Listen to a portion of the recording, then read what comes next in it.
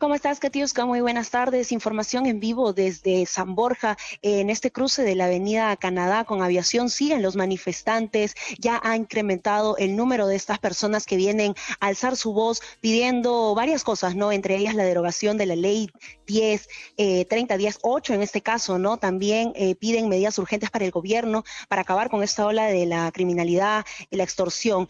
Ya llegó también al lugar, tal y como lo habían anunciado algunos de los empresarios, el dirigente Julio Campos, ¿no? Quien dijo y dio razón de por qué están realizando esta manifestación cerca del foro APEC. Escuchemos. Cerca del foro APEC. Para hacerles saber la verdad, cómo estamos viviendo. No estamos viviendo en un país de maravillas, estamos viviendo en un país inseguro, que nos asesinan cada cuatro horas. Y eso no podemos permitir en estos instantes de que ellos puedan saber dónde van a invertir y cómo van a invertir.